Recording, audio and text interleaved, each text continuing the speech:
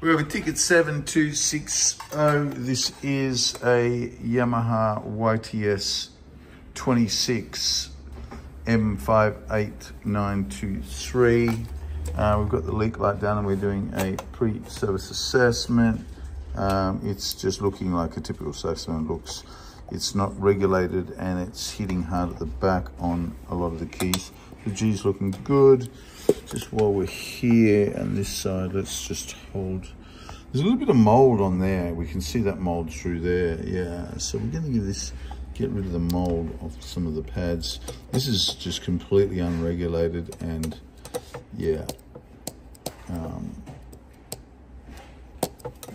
anyway, we'll give it a bit of a clean and a regulation and a seating and uh, get it working. Let's have a look at these guys. They're not too bad. They're really good, actually. A little bit of light coming through there, but that's no big deal. Um, and our C, a low C is, uh, come on, Mr. Light, stay there. Oh, yeah, okay, there we go. How's the C looking? C's looking absolutely wonderful. We love that. All right, I'm gonna uh, take a few keys off and uh, give it a little clean. Um, clean the tone holes in the pads and um, and seat and clamp and then regulate, lubricate, play test.